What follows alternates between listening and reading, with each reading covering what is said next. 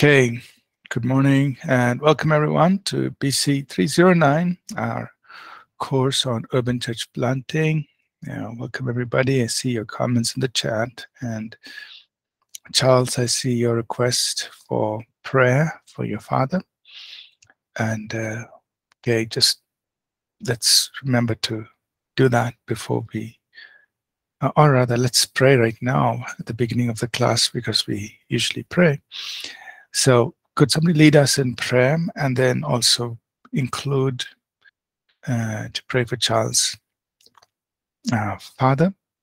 Uh, Charles, I forget now what what was wrong with your dad. Um,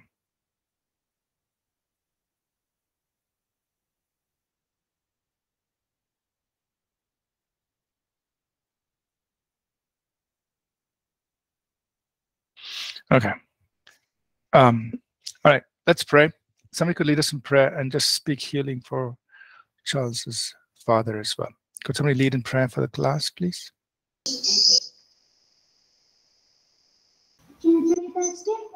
Go ahead. Dear God, thank you so much for everything that you're doing in life, God. And thank you so much for another week of our lives, God. And thank you, Lord, um, as we're about to learn you, that you fill us with your wisdom and understanding, that they will make um, grow stronger in learning about the urban church and what you have to say, Lord. God, we lift up um, Charles Dad into your hand. You said, when we lay our hands, they shall be recovered.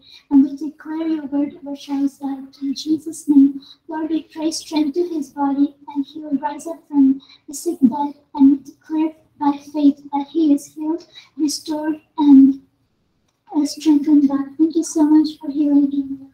By the stripe, we declare it right now that every uh, symptom that's causing him to be weak, Lord, you've already done it on the cross, and thank you, Hmm. Lord, for healing him. In your name, we declare. Amen. Amen. Amen. Okay. Amen. Okay. Thank you for leading us in prayer. Amen. And Lord bless Charles's dad and make him whole in Jesus' name. All right.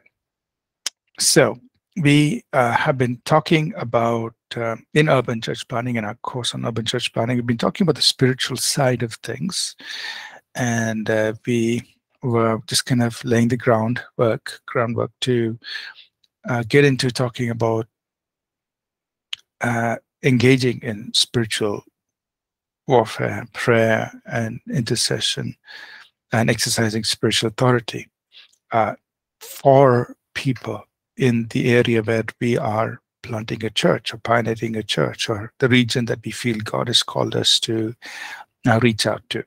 So I'm just going to quickly review some of the things we covered last week, and then we will move forward uh, from there.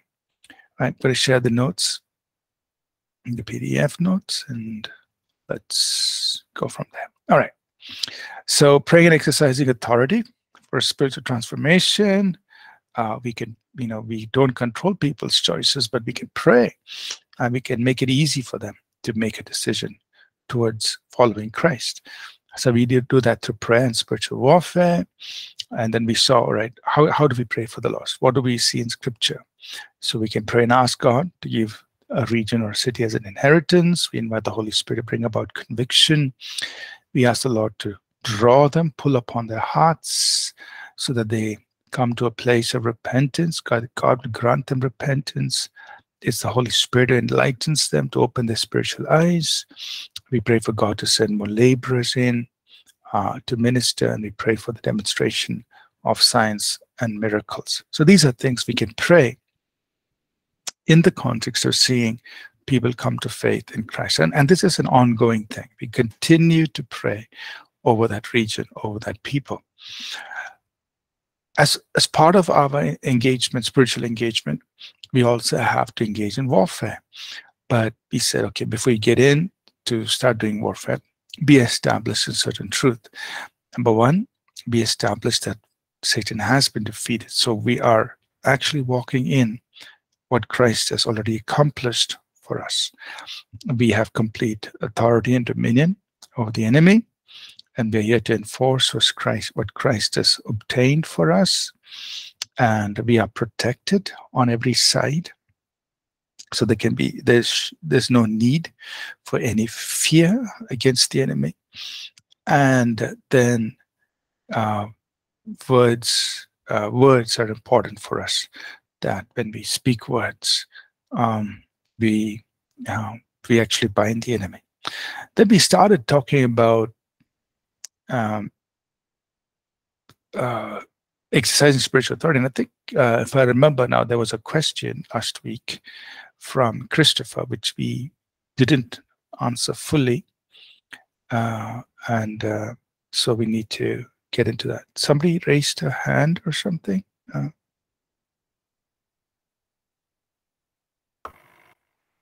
Yeah, actually, that was me, Pastor. I just want to ask the question. So. Oh, okay, okay, yeah, great. So, yeah, yeah so uh, the question that Christopher asked was, um, you know, we we as believers we understand what Christ did on the cross, right? That, like we said, on the cross, Jesus crushed the head of the serpent. He disarmed the enemy. He um, he expelled Satan. He passed judgment. The judgment was already passed. So that means Satan has been judged, condemned. He disarmed the enemy. He rendered the enemy powerless, or he defeated the enemy. So, as believers, you know, uh, based on the word of God, we say this is what Christ has already accomplished. But the big question is, why does it seem like the you know the enemy is still so powerful he's still doing things around uh, both against believers as well as in the world in general you know how do we explain that to somebody who doesn't necessarily have the same kind of understanding that we have so that's the question we were trying to uh, explain. And then uh, Tarun shared with us a link to a two-part sermon series uh, that we did long time ago. I mean, some time back. It's it's called Satan, You've Been Defeated. So you can go to our church website and search that Satan, You've Been Defeated. Satan is defeated, something, and part one, part two. Um, but let me just try to summarize some some thoughts on the on those lines. One is when Adam and Eve sinned, the authority they had on the earth was transferred to Satan because they willingly brought themselves in subjection to Satan. Whomever we obey, to them we become slaves. Romans 6 tells us. So they chose to obey Satan. They became slaves to Satan. Satan got the authority of this world. That's that's why uh, you know in the New Testament, you find he's referred to as the God of this world, uh, the prince of the power of the air. So he's referred to with those terms.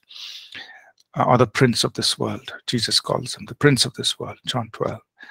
So rightfully, authority on this planet was given to the devil. See, he's got you know control. Now Jesus came representing the human race, and he overthrew the devil.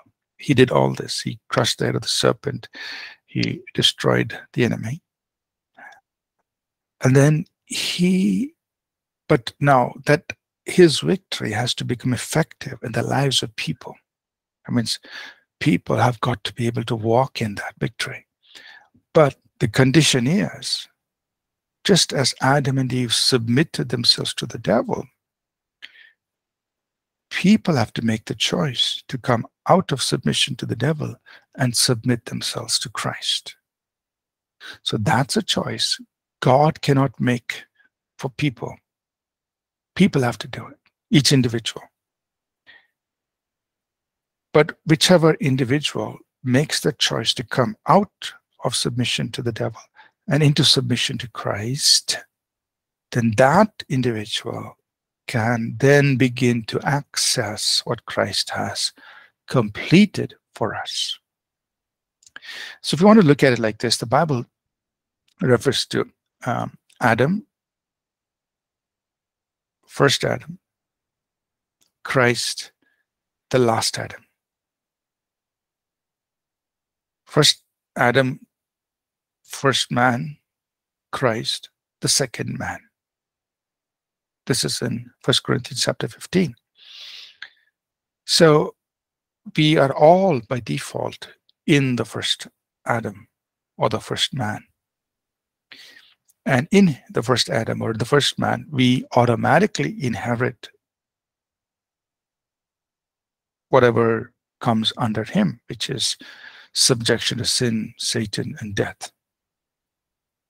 But the last Adam, the second man, Jesus Christ, came and said, I'm starting a new race of people.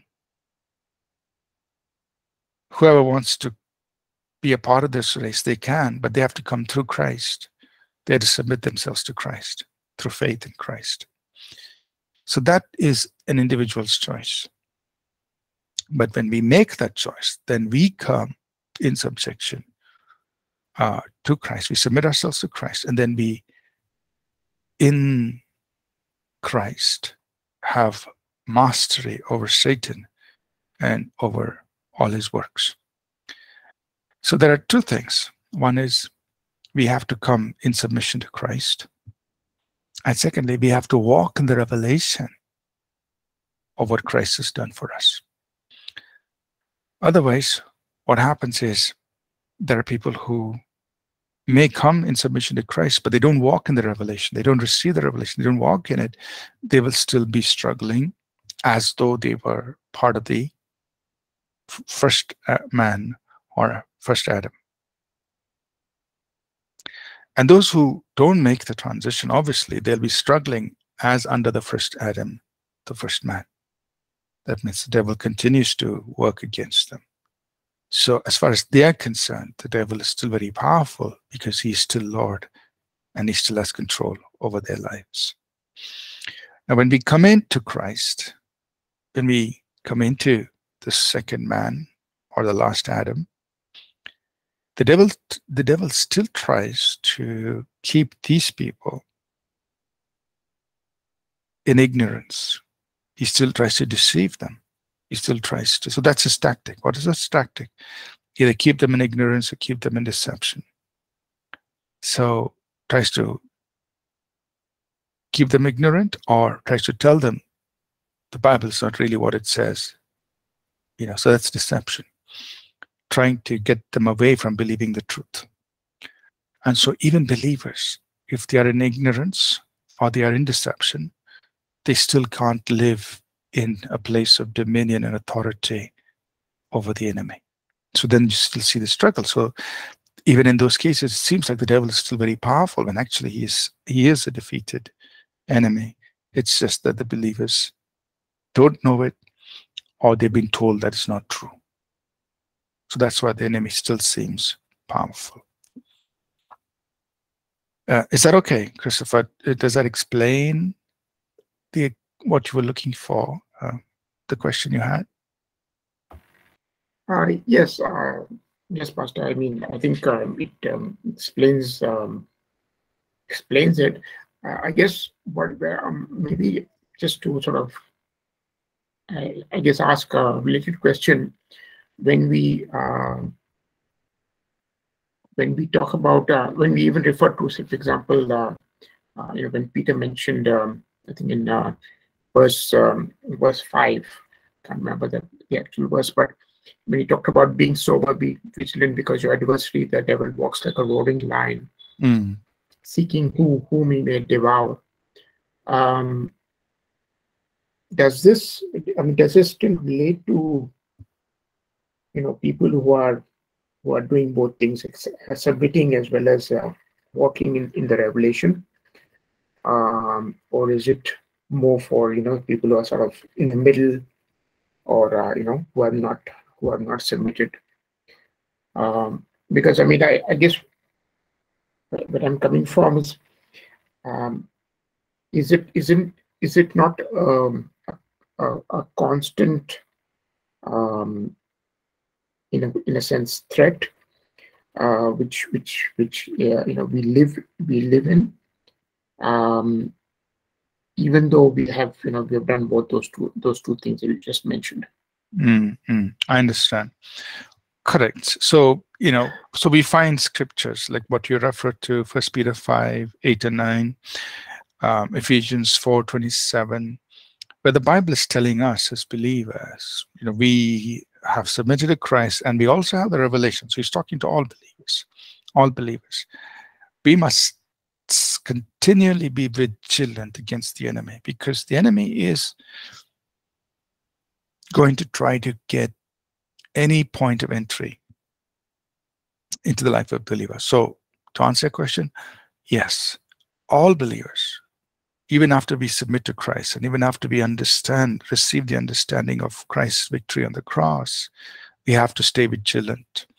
We have to stay alert and give no place to the devil, no give no access to the devil. So for the entirety of our life here on earth, that's how we live. Uh, not because the devil is so great, but because he is looking for opportunities to come in and trip us up. Right? And he his tactics are very simple. It, his tactics are to either keep somebody in ignorance or to deceive or to intimidate. It's basically things related to the mind, primarily trying to, you know, disturb believers in the area of the mind through lies and deceptions and so on.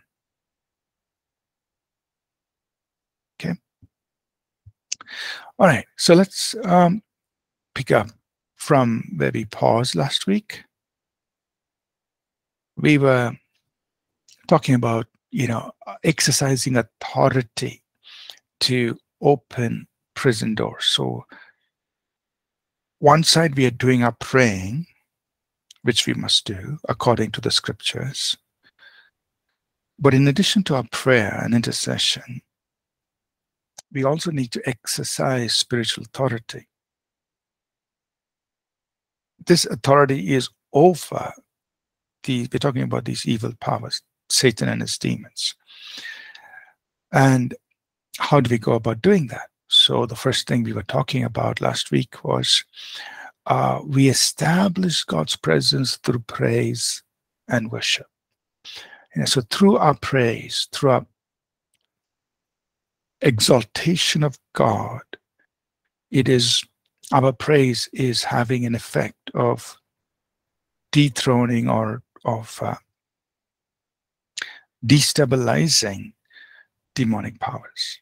So we saw in scripture, you know, Psalm 22 verse 3, it says that God is enthroned on the praises of his people. So as we praise God, God is enthroned. We are, we are we are saying, uh, we are in effect establishing his kingdom rule and his kingdom, his dominion in that region as we praise and worship God. We saw from verse 5, First Samuel 5, 1 to 4, and I just, you know, uh, described this incident where the Ark of the Tabernacle was taken by the Philistines into the temple of their god Dagon. When it was placed there, Dagon fell on his face. The statue of Dagon was down on his face. They put it back up and then it was broken into two. And they realized this is how powerful the presence of God is. The Ark of the Covenant was a symbol of the presence of God. But it's also very, um, you know, it's depicting something very powerful for us how the presence of God displaces the presence of demonic powers. Right? And we establish that through our praise, our worship, in Psalm 149, verses 6 through 9, it's very interesting. Uh, if we read that, we learn that through our praise, we're actually binding um, the powers of darkness. Now, it talks in Psalm 149, it says, through the high praises of God, uh, we, uh, as believers, as, as God's people, we have a two edged sword in our hand and we're executing vengeance on the nations. Now, this is obviously not literal, right? Our praise to God is like us walking with a double-edged sword and um, executing vengeance on the nations. So it's not literal. It's like now you're not literally going around with a physical sword in your hand and binding up uh, the um, uh, the uh, kings and cha uh, in chains. No, it's the effect of our praise. It is the effect of us glorifying God. It's it's spiritually it's equivalent to this. That is, we are executing vengeance and on executing the written judgment on our spiritual adversaries. Right. So our praise to God is causing this effect on our spiritual adversaries. And in Psalm, sorry, in Isaiah 19 and verse 1, we see the effect of the presence of God. It says that when God rides, Isaiah 19 1, uh, the idols of Egypt will totter or shake at the presence of God. Right? The, so uh, uh wherever God's presence is, the powers of darkness shake, right? So that's our first step in exercising spiritual authority is we establish God's presence through praise and worship. And we, we must be confident you know, that as we are praising God, as we are worshiping God, this is the effect of our praise and worship over, over the spiritual atmosphere where we are. Uh, this is the effect of our praise and worship on our spiritual adversaries. This is what is happening. Secondly, we proclaim, we declare Christ's finished work on the cross for the salvation of souls. If you go to Isaiah 52, and um, somebody could read that, Isaiah 52, and could somebody read verse 15, please? Isaiah 52, verse 15.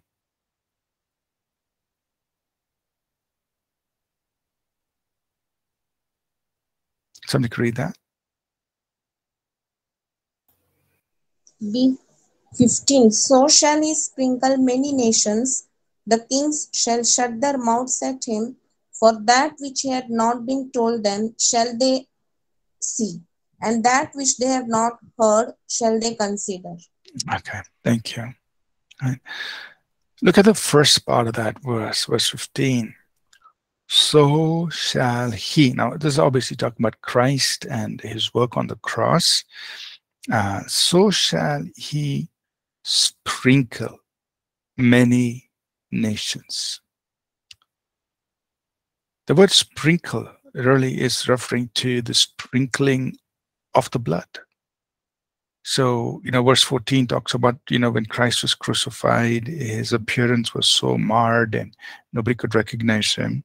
And in that context, verse 15 is there, he will sprinkle many nations.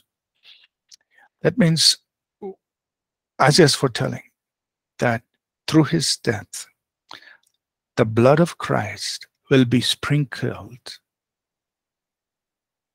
for and upon many nations the sprinkling of the blood. So think about this. The blood of Christ has been sprinkled upon the nations. So when you think about your nation, or you could think about your city, or your region, or your nation. According to Isaiah 52, verse 15, Christ's blood has been sprinkled over your nation or your people, your city. He will socially sprinkle many nations. That means the blood of Christ has been made available for everybody. And what we are going to do is to enforce that. We declare that the blood of Jesus Christ has been sprinkled, has been made available for the city, or the region that we are people in the city or people in the region that we are praying for. And we want the blood of Christ to avail in their lives. We say, we announce to Satan, Satan, Christ has already shed his blood for the people in my city, for the people in this region, the people in this nation. And so we are declaring that salvation has been made available for them. We are declaring that uh, forgiveness of sins has been made available for them. and you know we we it's not that we are making a decision for them we can't do that they have to be make the decision but we are saying we are here to enforce the power of the shed blood of christ for them in order for their them to be receive forgiveness of sins in for order for them to experience their redemption in order for them to experience every provision that comes through the cross of christ right? so we are announcing we know that the blood of Christ has been sprinkled for these people. It's like saying the prison doors have been opened. Of course, the prison has to come out, but the prison doors have been opened. We're announcing the doors are open and people can be released. The third aspect of our spiritual warfare. So, one is we're making that proclamation on the basis of Christ's finished work on the cross. Thirdly, we take authority over what the powers of darkness are doing in that region. And So we deal with those things. Now, again, we use our words in the authority of Jesus' name. Right? So we can, as we are declaring, we dislodge those strongholds in the minds of people. So whatever we find, you know, we can deal with that and say we take authority over these things in the minds of people uh, we take authority over these thoughts, these arguments, these reasonings, uh, and we pull it down. Right. The basis for that, Second Corinthians chapter four. Let's go there. Sorry, Second Corinthians chapter ten, verse four through six. Second Corinthians ten, verses four. Let's read verse three to six. Second Corinthians 10, 3 to 6. Somebody could read that for us, please. For though we walk in the flesh, we are not waging war according to the flesh. For the weapons of our warfare are not of flesh, but have divine power to destroy strongholds. We destroy arguments and every lofty opinion raised against the knowledge of God and take every thought captive to obey Christ, being ready to punish every disobedience when your obedience is complete. Amen. Hmm. So, Paul is telling us that we are engaged in spiritual warfare. So, we are not fighting in the flesh. That's verse 3. He's telling us, verse 4, that we are using spiritual weapons, weapons that are mighty through God. That means these are very powerful weapons. And then he tells us, what are we doing with these weapons? And you'll find here that the context is things in the mind. Because he's talking about arguments, he's talking about reasonings that go against the knowledge of God. He's talking about every thought. So he's talking about arguments, reasonings, or imaginations and he's talking about thought. And in that context, he also uses the word strongholds, verse 4. So the word strongholds of verse 4 has to be interpreted in the context of arguments, reasonings, and thought in verse 5. Okay, so what do we do with the weapons God has given to us, the spiritual weapons? Well, we are dealing with things in the minds of people. So uh, we're not talking about air castles, you know, castles in the air or somewhere in the atmosphere. No, we're dealing with things that the enemy has done in the minds of people um, in order to prevent them from making a decision for Christ. And he says the weapons God has given to us will pull these things down.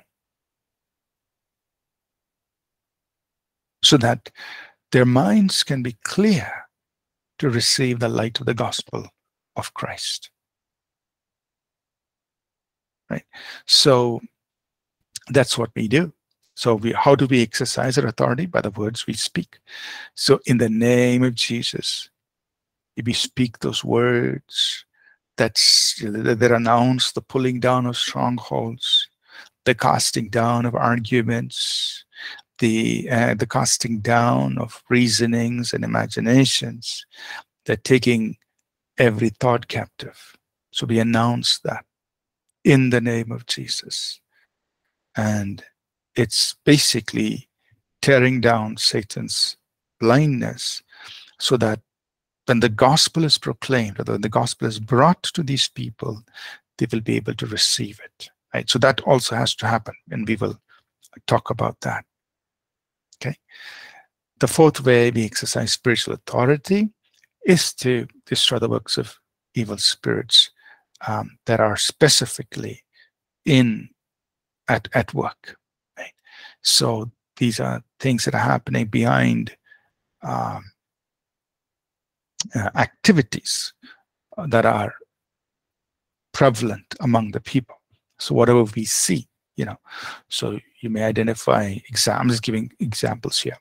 You may identify prostitution or corruption or murder or etc. Other things, activities that are happening, but those activities are demonically energized. There are spirits of disobedience that are causing those acts of disobedience. So we deal with those demonic spirits. We bind or we disallow their activity in the name of Jesus Christ. Okay, so uh, yeah, four of these. So here are four ways by which we exercise spiritual authority. One is just praising and worshiping God. Two is announcing that the blood has been sprinkled for every nation. Three is we, through our words and exercise of spiritual authority, we pull down what's going on in the minds of people. And fourth, through the exercise of our authority, we deal with what evil spirits are doing amongst the people, and which is visible through the activities that is prevalent, uh, the wrong activities that is prevalent among the people. Okay, so there is prayer based on the word of God, and there is the exercise of spiritual authority, all engaged, all in order to affect the spiritual environment so that people can then hear the gospel and make a decision to follow Christ, to encounter Jesus Christ. So while that is going on, we need to continue the proclamation of the gospel. Right? So before we get into the next chapter, let me pause and see if there are any questions. Any questions so far? Everybody's with me?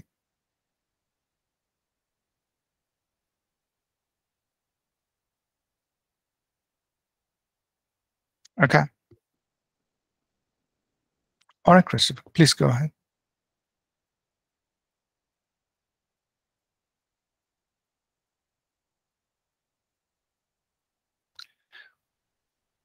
Yeah, Christopher, you can ask your question. Yes, uh, Pastor, uh, to your point um, with regards to um, addressing um, uh, Satan's influence in cities, um, I just, just uh, I guess, uh, um, sort of a high-level question around um, the the uh, predominance of um, other religions in um, in cities. Um, would you say that you know from from the early uh, uh, early days of of Christianity, where there were uh, other religions um, or other ways of practicing religion, uh, to to where uh, Christianity sort of you know fits in um, in, in, percentages you know to other religions. Um, would you say that uh, those I mean the the predominance of those religions are really the work of of Satan, and um, uh, you know in relation to uh, why uh, Christianity is um, relatively low in in in in a lot of in, in a lot of countries. I'm not sure if I clearly sort of uh, explained mm. that. Yeah. So I'll just point us to uh, First Timothy chapter four, verse one. First Timothy chapter four, verse one. But the Bible talks about um, deceiving spirits and doctrines of demons. So that means there are spirits, demonic powers, that deceive and that teach there are doctrines of demons or teachings, philosophies, ideas, ideologies. So there is deception and there is doctrine. And both of these, doctrine, when I'm saying, they're not talk, talking about the doctrine of the, the Word of God, but other kinds of doctrine, which are demonically energized. So the answer to your question is yes. That in regions where you know you, we find all kinds of maybe religions, uh, it could be even practices, you know, right from animism to all kinds of things, you know, that are prevalent among maybe a culture, a group, a community, a village, a town, a city, a nation. What do we know? Well, deception and doctrines, demonically energized. So while that is prevalent and maybe deep seated, the powers behind it are demonic. So then the question is is there ever a possibility that this can be dislodged at such a wide scale? The answer to that question is yes, because we do find in scripture, and I'm just looking at um, Acts chapter 16 and also Acts chapter 19, both these as examples. And in Acts chapter 16, it's a city called Philippi. In Acts chapter 19, it's a city called Ephesus, where to a large extent, what happened was at that time, at that time, in Philippi, the people were controlled by a demonic expression through a woman who was a fortune teller. In Ephesus, the people were controlled by a goddess, Diana. And in both these, so I'm just giving an example, but there was a dominating, prevailing thought or doctrine, or if you want to say religion or influence in these cities. But when the gospel came, that was dislodged. Right? So, is it possible for something like that to happen again today? Answer is yes. Is it possible for communities or cities or maybe even nations to be transformed? The answer is yes. And um, we, the church, must journey into it. You know, we, the church, must pray into it, exercise authority towards it. And then what we're going to look in chapter 19, which is proclaim the gospel. So there is prayer, there's exercise of authority, and then there's a proclamation of the gospel. All three should happen in order to see a tra spiritual transformation. Okay. Good. Any other question? Questions? Sorry.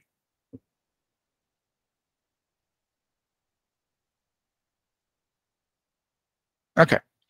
So let's move forward now. We'll start off the next chapter, chapter 19. So part of our, uh, sorry, Kennedy. Kennedy, please go ahead with your question.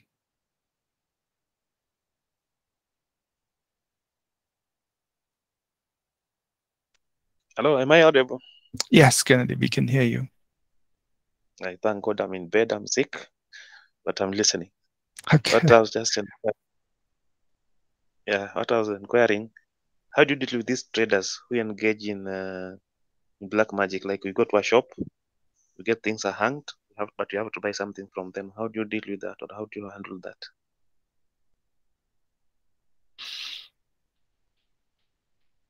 Okay, okay.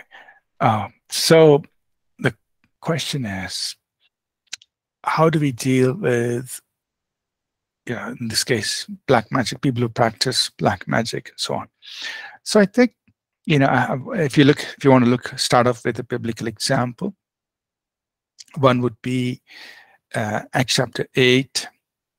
Uh, another example would be Acts chapter 13. And a third example would be Acts 19, which we referenced a little earlier. in, uh, and I'll just mention these things and then, you know, we will see how, how to apply that today. Acts chapter 8, we see Philip go into the city of Samaria.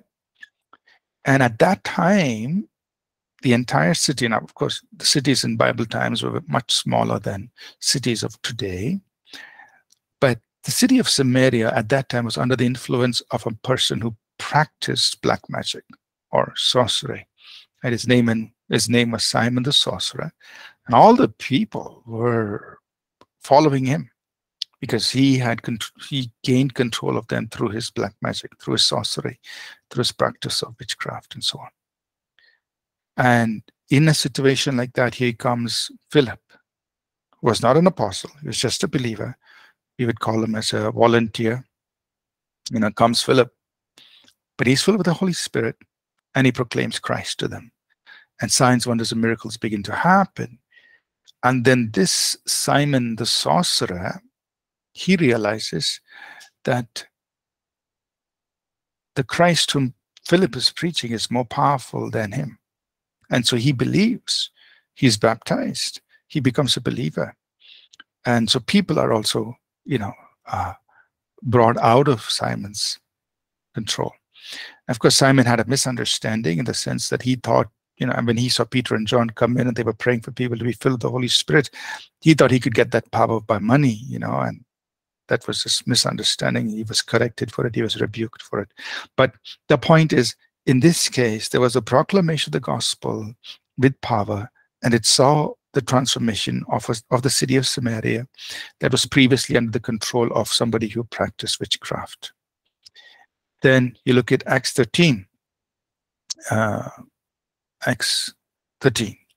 When Paul and Barnabas, they come to the island of Paphos, over there again, they find another person. They find a person who practice, was practicing witchcraft. And he was controlling the governor of that place. So the governor was a very spiritual man, but he was being controlled by Bar Jesus, who was a sorcerer, a practicer of black magic and witchcraft. And Paul and Barnabas come in. They are sharing the gospel with the governor, Sergius Paulus. He's convinced, uh, like he, he's really interested. But this person who's practicing black, you know, witchcraft is interfering. And there, Paul, you know, you know, rebukes him and declares blindness on him for a season. So the power of God is demonstrated. Acts 19, Ephesus is under the control of the goddess Diana. And it says in Acts 19:11, through the hands of the apostle Paul, unusual miracles were taking place. So there was a demonstration of the power of God. And some people, you know, try to imitate Paul, the seven sons of Sceva. They try to cast out demons. But that didn't work. But what happened? What was the effect?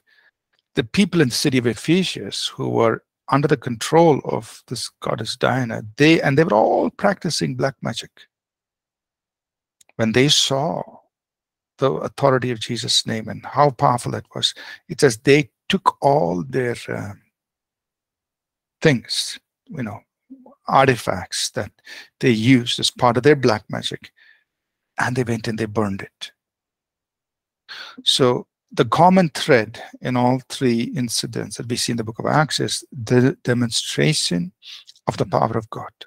All three, which brought people out of the control of witchcraft or black magic, caused them to discard these items and things they were using and turn to Christ.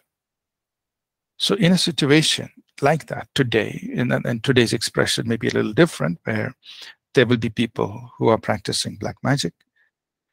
So, our our our objective as a church is to keep demonstrating the power of God, keep demonstrating the power of God, so that people will experience God's working and it'll show them that the power of God, the power of the name of Jesus, is far superior to witchcraft, to black magic, and cause them to turn to Christ. So that would be the response. Uh, that's that would be our approach uh, towards those things. You know, we to demonstrate the power of Christ being greater uh, than those things. Is that okay, Yeah, Kennedy? Thank you. Okay. Thank you. All right. So, welcome, Kennedy. So, the next, okay, I was just going to start next. And okay, Abraham, I see a question here. The Church of God here in Vietnam have convinced many people to believe in God, the Mother, using the Bible. Hmm. Okay, um, Abraham, I'm not very familiar with this. Could you explain it a bit for us, please? Yes, Pastor. Pastor, please, can you hear me? Yes, we can hear you. Yes, there there is a church called the Church of God, and I think they they believe in Christ Ahnsahnghong. They said, I think he's a new name that we all have to believe in him. So I meet so many people. I- I've met almost about four people who are trying to convince me that I have to believe in God the Mother, the Father, and then Christ Ahnsahnghong before I can receive salvation. And they try to use the New Jerusalem as the as the cross. Say that that is our, our mother. That's in Galatians four. So when you meet these people, they try to use their understanding to explain the scripture. And it's the same Bible that they are using, but just that they are misinterpreting it. So how do you deal with these people? Is it from the spiritual realm or through Bible studies and discussion? Thank you, Pastor. Mm. Okay. Okay. So, Abraham, I am not too familiar with this particular movement that, you know, or this, this particular group of people that you're referring to, but I understand what you're saying. I understand that these people are using New Jerusalem based on what they read in Galatians 4 uh, as God the Mother. And they're trying to get people to believe, or they're saying you have to believe in God the Father, God the Mother, and in Christ, is it? And in Christ. Okay. So I, I- don't know everything about this particular group you're referring to, but definitely that's not you know what the Bible is teaching us. Um, uh, uh, you know, First John chapter five clearly says there are three that bear witness in heaven. You know, Father, the Spirit, and the Word. So it's very clear. First John five seven, I think it is. Um, First John chapter five. Uh, yeah. Um, First John five, verses six, seven, and eight. hmm? But verse seven says, "There are three that bear witness in heaven: the Father, the Word, and the Spirit, and these three are one." So there's no mention of mother and all of that, right? Um, so this whole idea of the mother is is foreign to Scripture. Uh, now, you see when we talk about cults so i would i would i don't know everything about this group but from what you have shared i would classify them as a cult. I know it's a little early for me to make that kind of a judgment but let's say they are a cult. I don't know all the details but let's say they are a cult. That means they are they are believing something that's not true. They are in error. How do we deal with them? And and the same thing you know whether you're dealing with jehovah's witness or mormons or uh, the latter day saints or you know all these these these so many things. Um, if see the thing is this among all these groups there are people who are very uh, forceful in their belief that means they are going to argue they're going to fight so I would say don't waste time with them.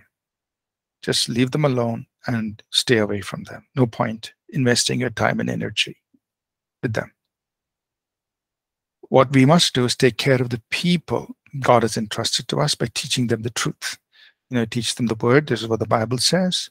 Uh, establish the, them the truth so that when they are exposed to these other groups, they can stand their ground. They know what is the truth, so that when they hear something that's different from the truth, they can say, "No, I'm not going to. I'm not convinced about that because I'm established in the truth." That's the first thing. Secondly, if there are people from those groups who are genuinely interested, that means they're willing to listen, they're willing to seek for answers, then of course you can point to them and say, hey, nowhere in the Bible do you find us being called to worship God the Mother. It's nowhere there. Uh, it's very clear, you know, uh, First John 5, if you starting from Genesis chapter 1, you know, you could say you can see God the Father, you can see God the Spirit at work. First John 5 7, there is three that bear witness Father, the Word, and the Spirit. Nowhere is there this thing about mother, right? Uh, Jerusalem is referred to that as a as a city of God, as you know, and it's referred to many many terms. So, um, but it's not a place, not something that we worship, or it's not in the place of God. So, if they are willing to listen, then you have that kind of conversation. Otherwise, just focus on taking care of the people God has given you, and establish them in the truth. Right. So, the reference I would I would point us to is in Acts chapter twenty, where uh, uh, Paul, you know, he he he in Acts 20, uh, verses 29 to 32, uh, he tells, and or let me put it like this: Acts 20, 28 to 32. Acts, let me write this for you. Acts 20, 28 to 32. I just refer, refer you to this passage where Paul is telling the Ephesian leaders, look, you know, you're you're a shepherd of these people, but there's going to be savage wolves who are going to come in. That means people are coming in with these wrong ideas and wrong, they're going to speak all kinds of things. But then he says in verse 32, I'm commending you to the word of God. You know, so he says, You're a spiritual leader. You're going to face these problems with all these wrong ideas and doctrines. What's the antidote? Be established in the word of God. Okay. All right, Kennedy, do you have a question um, or do you want to bring it up tomorrow? I have Uh, a question. Okay, go ahead. Let's see if we can do it today. How- Others. yeah. How do you handle the spirits of mammon?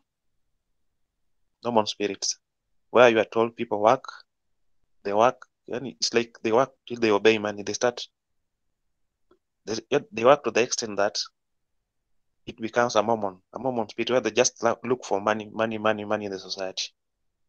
Mm, Because we're told in the Bible, unless you work, you won't eat. mm, mm, mm, mm. So you Uh, Yeah. So a, a quick answer to your question is the way we counteract something is by demonstrating the opposite attitude or discipline. So, example, if there is greed, we demonstrate generosity. Right? So, as believers, we demonstrate the opposite. Why? The Bible says, overcome evil with good. Right? So, to counteract evil, what do we do? We do the good. We do the exact opposite. So, we demonstrate the opposite, the good attitude or the good discipline in, in order to overthrow uh, the evil. So, in this case, when, when we say the love of mammon, how do we overthrow that? We overthrow it by demonstrating uh, just an overflow of love for God. So the more the church comes in, church means believers as people. We demonstrate more of that love of God, that un, you know, unrestrained love for God. Then people who are caught up and trapped by the love of mammon, they're going to be challenged, and the power over their lives will be dislocated because the church is demonstrating something superior. We overcome evil with good. So that's just a you know a general answer that you can apply to many situations. Is that okay, Kennedy? Th- Thank you, thank you. All right. So good questions. Interesting. We will uh, we'll continue this tomorrow, um, uh, build on this, what we've been talking about. Uh, let's take a moment to pray and then we will dismiss, please. Can somebody pray with us?